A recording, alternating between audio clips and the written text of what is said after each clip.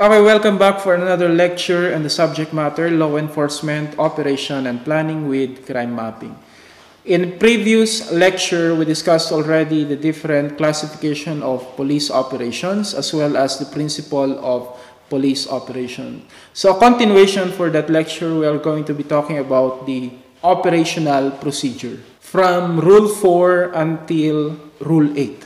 Okay? So Rule 4 talks about pre-operational clearance. So when we talk about pre-operational clearance, this is the first step before you conduct certain operation. Under the Rule 4, it states there that before a police unit will be conducting a police operation, they must first secure a clearance coming from their police commander. A formal letter must be written subject to the approval of the police commander in that specific unit. So let's say, for example, here in the municipality of Bayombong, a certain unit of the PNP will be conducting an operation. Before they will conduct operation, they must first secure the approval of their COP and then the uh, approved request for operation shall be forwarded to the operation division on that specific station. So that is the process. Because, uh, you know, when something goes wrong, uh, it's not just the unit who will be subjected to inquiry, but the whole agency or the whole station, specifically the COP, will be also included in investigation if something went wrong. There's no operation that will be conducted without the knowing of the COP in every station because that is the first procedure in the conduct of operation.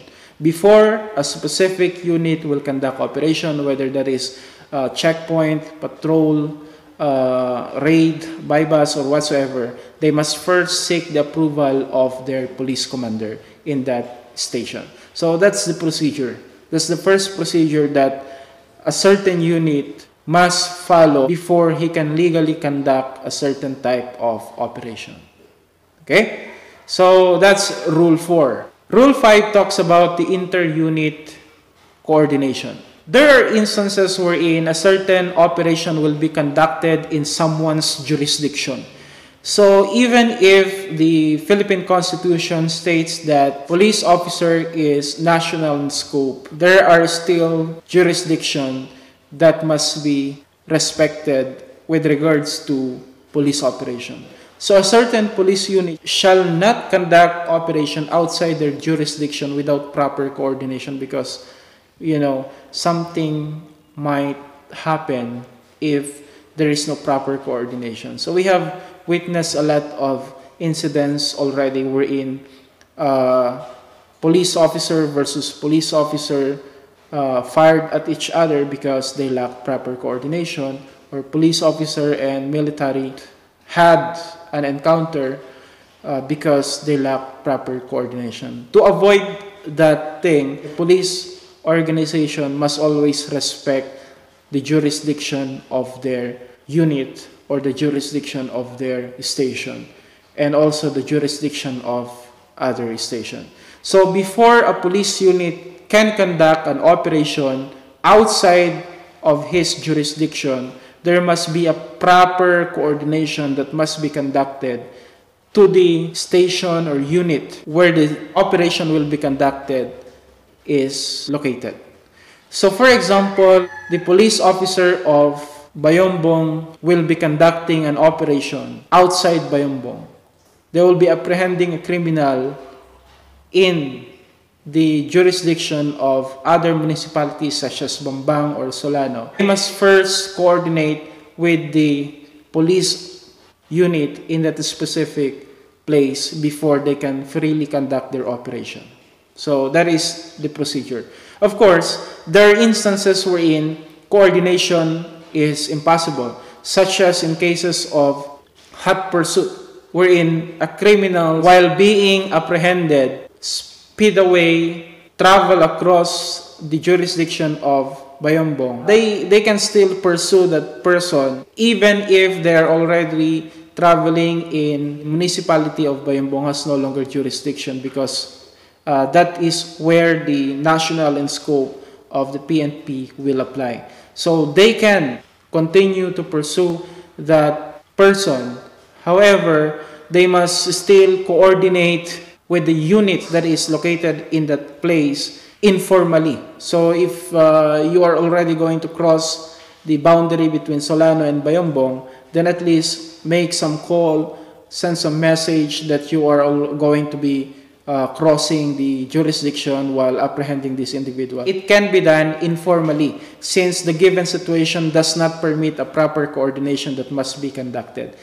If uh, there is no way for the police officer who is in a hot pursuit operation to coordinate with the unit or with the police force that has jurisdiction over the place wherein this criminal uh, went to then may they can write an incident report, report or explanation later on.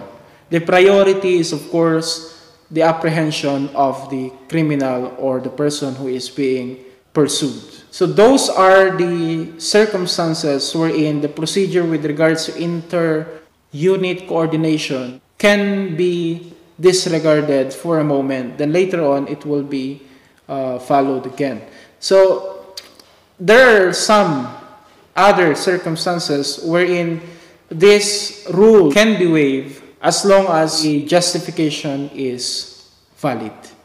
Okay, so that is with regards to Rule 5, Inter-Unit Coordination. Rule 6 talks about the basic requirements for operation. So a police officer or police unit who will be conducting an operation shall always see to it that they follow this rule, such as in the conduct of checkpoint, arrest, and any other type of operation.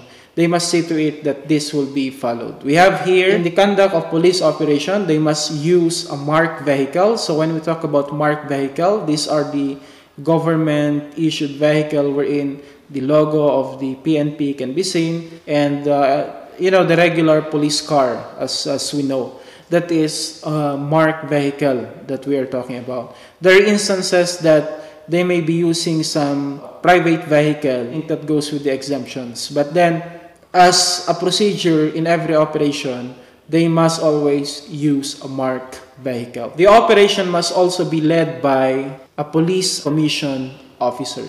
So, uh, police commissioned officer refers to the uh, police officer who has the rank of inspector and above. For the new rank classification for PNP today, because they remodeled already, they renamed the different uh, rank of the PNP, and that would be discussed on the separate discussion. But then, uh, for those who are used to the old rank classification, PCO or Police Commission Officer starts from inspector and above. So every operation must be led by at least an inspector and above.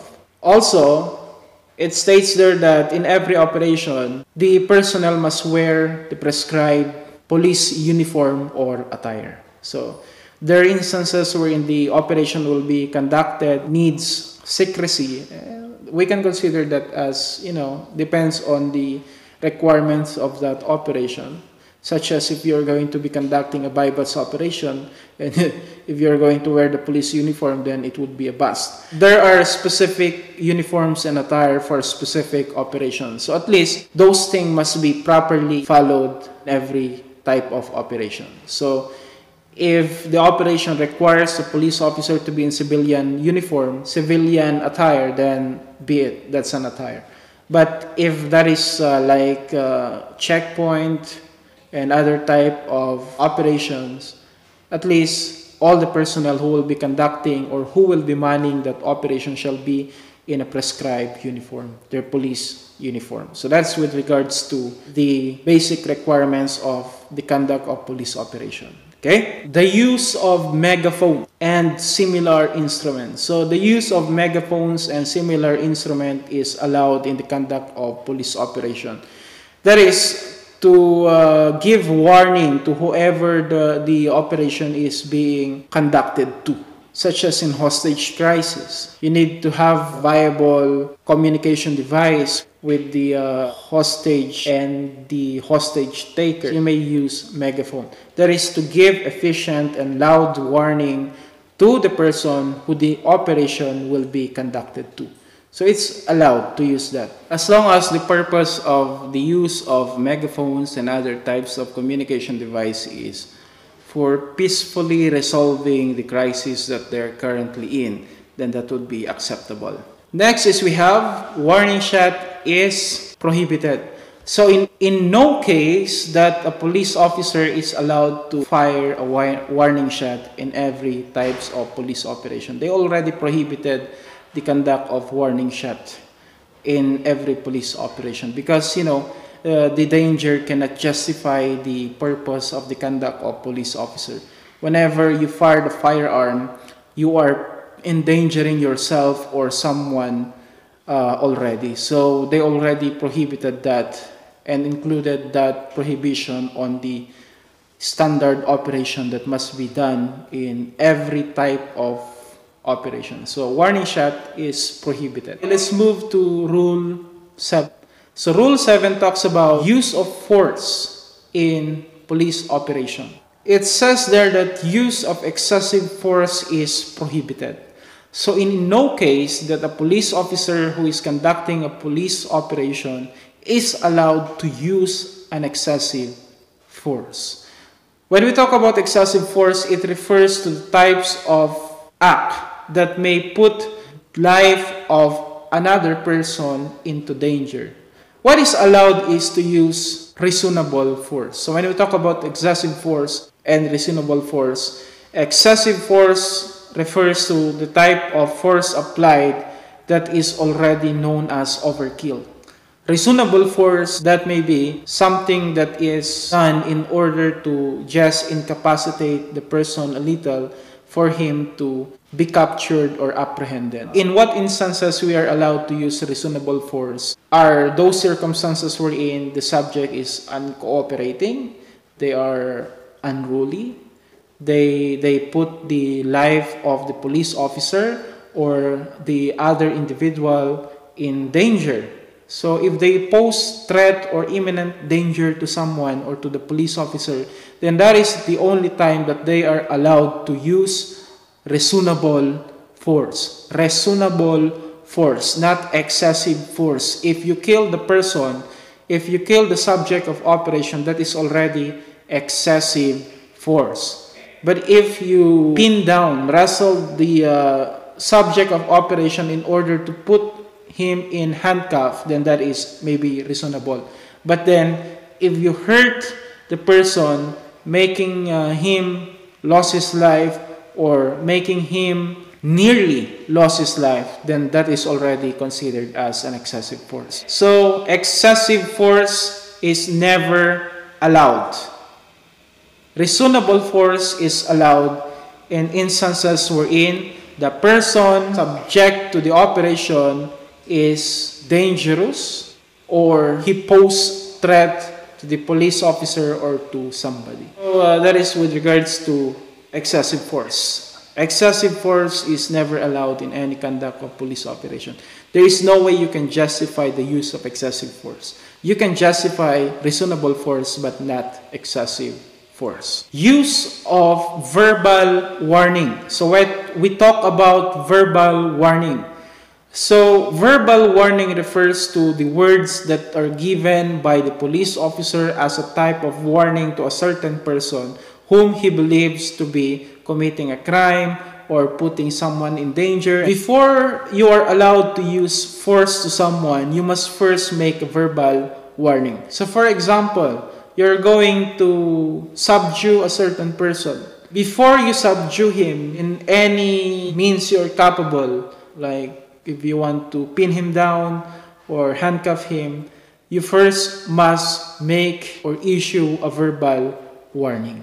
The verbal warning shall be in a language that is understandable by the person to whom the warning is being given. So let's say, for example, he is a foreigner. So you must issue or make the verbal warning in an English or in a dialect or in a language that can be understood by that foreigner if you're going to subdue a local criminal, so before you use force to that person, you must first issue verbal warning. Verbal warning includes you introduce your name, you state your name, you state your intention, and you state what do you want him to do and other instruction that you may give to the person who is being uh, subjected to operation. So that is with regards to verbal warning. Okay, so what are the factors that can be considered in using reasonable force in the conduct of police operation? So, of course, the factor are the following. In cases wherein there is a confrontation between an armed criminal, between the police force, those are the only instances wherein uh, a use of firearm or a use of force, reasonable force, can be justified because we cannot afford sacrificing the life of the law enforcer while they are conducting or doing their duty to enforce the law. So, in cases wherein the person to be apprehended, the subject of the operation is resisting or uh, he is posing threat to the police officer or to the public, those are the only circumstances wherein the use of reasonable force may be allowed. Other than those, use of reasonable force is no longer advisable. What are the factors that are considered in identifying whether the force applied is reasonable? So, when we talk about the uh, reasonableness of the force applied, it depends upon a lot of circumstances. So, a police officer may, be, may encounter an instances wherein he is outnumbered. So when he is outnumbered, by all means, he may use reasonable force. He may draw his firearm in order to neutralize the situation. Other instances wherein the, the danger or threat is already imminent, then uh, maybe that's the time that uh, the use of force from the police officer will already be justified. There are instances wherein, in, in the current uh, trends that we are facing, we notice that there was a case wherein an ex-military personnel was shot to, to death by a police officer. So we're going to review what went wrong into that specific case. We can specifically say that there are some few errors based on the police operation that was conducted resulting to the death of the person. Of course, the first one, verbal warning was already given. So that's uh, that that is the proper. A verbal warning was already given to the victim while the police officer is pointing his firearm to that person. That is proper. But then when the victim acts as if he is going to get something from from his uh, bag, he was shot by the police officer. So he was shot by the police officer based on the police manual that we have as we are reading it. The question is Is there already an imminent threat? By, by making an action as if you're going to get some from your bag, would that already be considered as an imminent threat? Even without yet confirming whether what, what is the item or object that the person is trying to get from his uh, bag, he was already shot. So that certain action raises different interpretation depending on which view you are using. But if we're going to look into the manual, it says there that the actual threat must be there. In the view of the police officer who shot or who fired the firearm, maybe that action is already considered as imminent threat. But then, in the eyes of the uh, public, can you consider that as an imminent threat already? It is not yet sure whether a firearm uh, will be taken from that bag or maybe an ID or wallet or a lot of things can can uh, can be happen. But uh, the point is that it's not yet clear whether what object will the person be taking out from that bag. And maybe uh, the police officer who fired the firearm is already convinced that the person will take a firearm from that bag. So he was shot twice. The first shot, maybe, can we say, reasonable. The second shot, is questionable. Why? Because you see, the principle of the conduct of police operation states that you always respect the human rights of the person. So if you intend to incapacitate the person only, then there's no need for a second shot. But then a second shot was made. So it raised several issues regarding that. Okay? So I'm just going to talk about the, the process, the actual process. We're not going to talk about the uh, planting of evidence or whatsoever because I think that is where they were uh, that is where they were pinned down these police officer involved were pinned down I'm not saying this for the purpose to, to degrade any person or to to claim that the victim is aggrieved we're just talking about this to see or to relate the police operation procedure relative to that incident there are a lot of uh, operations or there are a lot of incidents wherein we can observe sometimes that there are some few errors in the conduct of police operation and that is where the issues are raised. As I have stated, this issue can be viewed in different angles. So if you are on the side of the police officer, maybe there is no need for me to wait or to confirm whether he was actually pulling a firearm from his bag or not because it's already between life and death. And uh, the other side of the story is that you are not yet sure whether what object will be taken out from that bag. So again, depending on how we view the incident and uh, depending on what basis are we using in order to understand better the, the real situation was. Uh, many will claim that, you know, there's a difference between the actual event to what is written on the manual. They, they believe that the police officer is just doing his job and uh, what went wrong there is became it became sensationalized. Depending on how you view this incident, but for me, there are few errors in that operation itself. As I've stated, reasonable force. So there is a verbal warning before the force was applied, but then was the first shot made for the purpose of incapacitating the victim? Or was it made in order to, for the victim to die? So those are the things. Okay? So that, that is with regards to police operation in, in relation to reasonable force. As I've stated, the first shot may be reasonable, but the second shot is already questionable.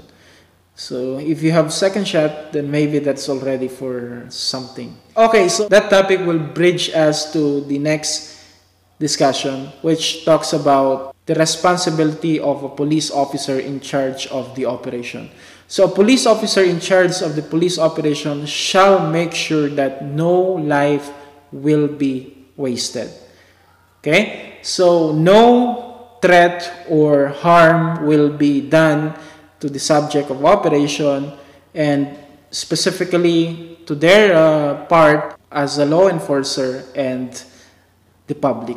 So that is the main priority of the person in charge.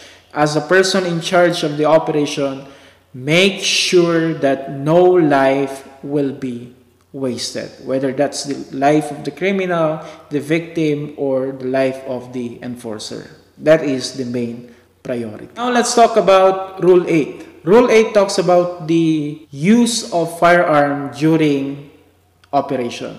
When is a firearm allowed to be used in an operation? So a firearm is allowed to be used in operation when the offender poses a threat or imminent danger to the public, to the law enforcer, or to the victim. And another justification of use of firearm in whatever operation that is, is based on the revised penal code of the Philippines that, that is with regards to justifying circumstances or what we call self-defense. So as long as the action will fall under self-defense, the use of reasonable force or the use of firearm will be valid, will be justifiable. So we always base that to the justifying circumstances present in the revised penal code. That is self-defense, uh, defense of a relative, defense of a stranger. So if someone's life is being put into imminent danger, actual danger, the use of force or even firearm is already justifiable for the law enforcer. Okay? So that is with regards to the use of firearm. The same is true with regards to firing at a moving vehicle. When will be the valid circumstances wherein a police officer may fire at someone in a, in a moving vehicle. So the same thing, if the offender poses an imminent threat or danger to the police officer or to someone, then that is the only time where the police officer may fire their firearm into a moving vehicle. Again, the basis is the concept of self-defense. If the action will fall on self-defense, then that is justifiable. However, before firing firearm to a moving vehicle, you must see to it that you take the surroundings and the circumstances into consideration. Because maybe you are acting in self-defense, however, by doing so, you endanger the life of others, then that is still considered as recklessness and you are still liable or punishable to that.